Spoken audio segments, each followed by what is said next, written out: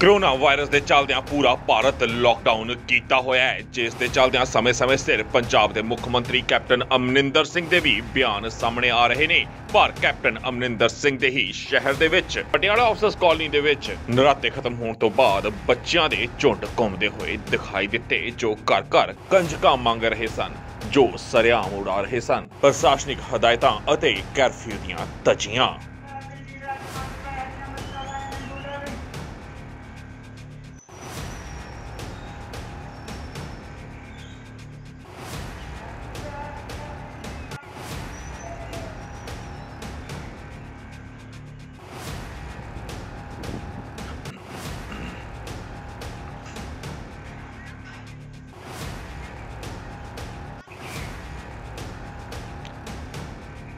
ਇਹ ਦੇਖ ਸਕਦੇ ਹੋ ਤੁਸੀਂ, ਪਟਿਆਲਾ ਆਫਸਰਸ ਕਾਲਨੀ ਤੇ ਨਰਾਤੇ ਖਤਮ ਹੋਏ ਨੇ ਆਈ ਥਿੰਕ ਕੰਚਕਾ ਨੇ ਅੱਜ ਸ਼ਾਇਦ, ਤੇ ਤਾਂ ਕਰਕੇ ਜੋ ਸਰਕਾਰ ਨੇ ਹਦਾਇਤਾਂ ਦਿੱਤੀਆਂ ਨੇ, ਉਹਨਾਂ ਨੂੰ ਛੇਕੇ ਟੰਗਦੇ ਹੋਇਆਂ ਬੱਚਿਆਂ ਨੂੰ ਲੈ ਕੇ ਲੋਕੀ ਬਾਹਰ ਨਿਕਲੇ ਹੋਏ ਨੇ, ਘਰ ਘਰ ਜਾ ਰਹੇ ਨੇ ਕੰਚਕਾ ਖਵਾਉਣ ਵਾਸਤੇ।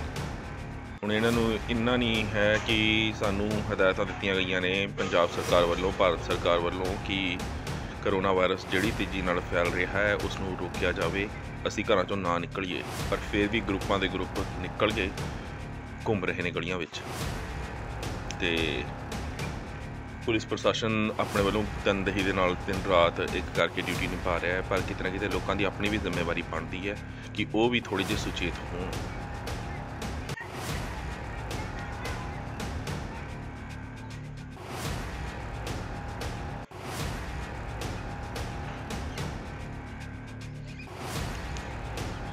ਬੇਟਾ, ਕਿੱਥੋਂ ਆ ਰਹੇ ਹੋ ਤੁਸੀਂ? ਕਿੱਥੋਂ ਆ ਰਹੇ ਹੋ? ਹਾਂ? ਤੁਹਾਨੂੰ ਪਤਾ ਨਾ, ਬੰਦ ਕੀਤਾ ਹੋਇਆ ਹੈ। ਬਾਹਰ ਨਿਕਲਣਾ ਪੁਲਿਸ ਨੇ। ਰੁਕੋ ਸਾਰੇ। ਤੁਹਾਨੂੰ ਸਾਰਿਆਂ ਨੂੰ ਪਤਾ ਨਾ, ਬੰਦ ਕੀਤਾ ਹੈ। ਫਿਰ ਘਰੋਂ ਕਿਉਂ ਨਿਕਲੇ ਹੋ ਤੁਸੀਂ? ਦੱਸੋ। ਸੁਣ ਰਹੇ ਹੋ? ਵਾਪਸ ਚਲੋ। ਪਿੰਡੋਂ ਆਏ ਹੋ ਨਾ? ਚਲੋ ਵਾਪਸ। ਚਲੋ। ਨਾਲੇ ਕਿਸੇ ਦੇ ਘਰੇ ਨਹੀਂ ਜਾਣਾ ਹੈਗਾ ਹੁਣ। ਪੁਲਿਸ ਨੇ ਲੈ ਗਏ ਨੇ, ਚੱਕ ਕੇ ਫਿਰ ਕਿਸੇ ਨੇ ਛੱਡਣਾ ਨਹੀਂ ਹੈਗਾ।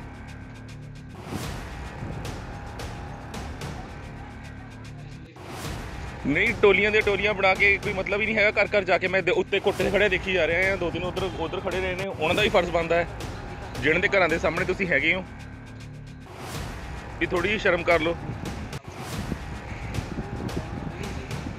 ਗਵਰਨਮੈਂਟ ਪੁਲਿਸ ਦਿਨ ਰਾਤ ਇੱਕ ਕਰਕੇ ਲੱਗੀ ਹੋਈ ਹੈ, ਇਹ ਗਰੁੱਪਾਂ ਦੇ ਗਰੁੱਪ ਬਣਾ ਕੇ ਮੰਗਣ ਨਿਕਲੇ ਆ। ਅੱਜ ਆਈ ਥਿੰਕ ਕੰਜਕਾਂ ਹੋਣਗੀਆਂ ਸ਼ਾਇਦ। ਬਿਊਰੋ ਰਿਪੋਰਟ, ਗੁਰਬਾਣੀ, ਅਖੰਡ ਬਾਣੀ। ਵਾਹਿਗੁਰੂ ਜੀ ਕਾ ਖਾਲਸਾ, ਵਾਹਿਗੁਰੂ ਜੀ ਕੀ ਫਤਿਹ। ਸਿੱਖ ਧਰਮ ਦੀ ਹਰ ਗਤੀਵਿਧੀ ਅਤੇ ਗੁਰਬਾਣੀ ਵਾਸਤੇ ਹੁਣੇ ਸਬਸਕ੍ਰਾਈਬ ਕਰੋ ਗੁਰਬਾਣੀ, ਅਖੰਡ ਬਾਣੀ। ਅਤੇ ਨੋਟੀਫਿਕੇਸ਼ਨਸ ਵਾਸਤੇ ਬੈਲ ਨੂੰ ਰਿੰਗ ਕਰੋ।